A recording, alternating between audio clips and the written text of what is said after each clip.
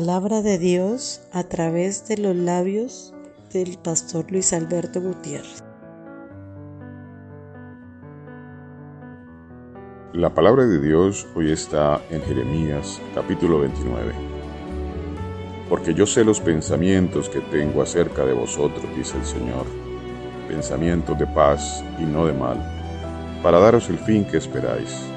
Entonces me invocaréis y vendréis y oraréis a mí, y yo os oiré, y me buscaréis y me hallaréis, porque me buscaréis de todo vuestro corazón. Y seré hallado por vosotros, dice el Señor y haré volver vuestra cautividad, y os reuniré de todas las naciones, de todos los lugares a donde os arrojé, dice el Señor, y os haré volver al lugar de donde os hice llevar. Amén.